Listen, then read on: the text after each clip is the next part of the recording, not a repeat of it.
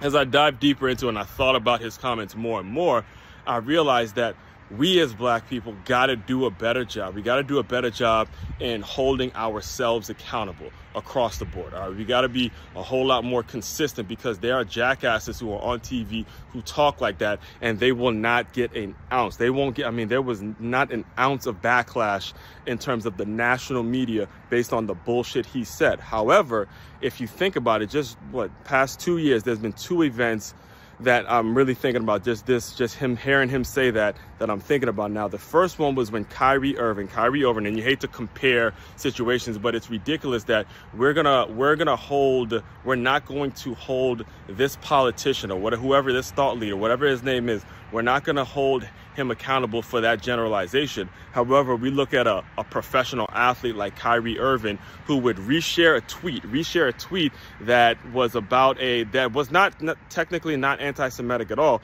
but it was about a documentary that had some anti-Semitic language in it. He didn't he didn't sell it. He doesn't sell. He didn't. Uh, he doesn't sell the documentary. He didn't push the documentary. He just simply retweeted. He didn't go tell people to watch it. It was just something in which his let the name. I believe it was some a situation in which his name had something to do with the documentary, something that was said in the documentary, and he's just simply connecting with his fans, connecting with the, his people. Yet we almost murdered this man for being anti-Semitic. There were protests. There were. I mean, I believe he even got suspended. Something ridiculous like that. Couldn't do his damn job because of something that he retweeted. Yet again, we have this white politician on national TV making a generalization about black people, and we don't we don't say anything. We don't have any backlash over